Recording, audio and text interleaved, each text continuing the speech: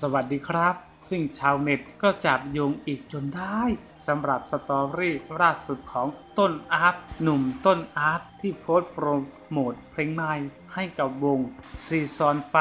ซึ่งมันคงจะไม่เป็นประเด็นถ้าเพลงนั้น ไม่ได้ชื่อว่าแฮชแท็กกับคนเก่า เธอทำแบบนี้หรือเปล่า ซึ่งหนุ่มต้นโพสต์ขึ้นมาในขณะที่ฝ่ายของอดีตหวานใจอย่างแต้วณฐพรกำลังอินเลิฟหวานจัดกับแฟนหนุ่มคนในายไฮโซนายปราดนายจนแฟนๆถึงกับเบาหวานขึ้นตากันเลยทีเดียว อย่างล่าสุดในช่วงเวลาใกล้ๆกับที่หนุ่มต้น พสสตอรี่นี้ หนุ่มนายก็เพิ่งทำซึ้งร้องเพลงจีบสาวแก้ว จนฝ่ายหญิงเขิน ม้วนไปหยกหยก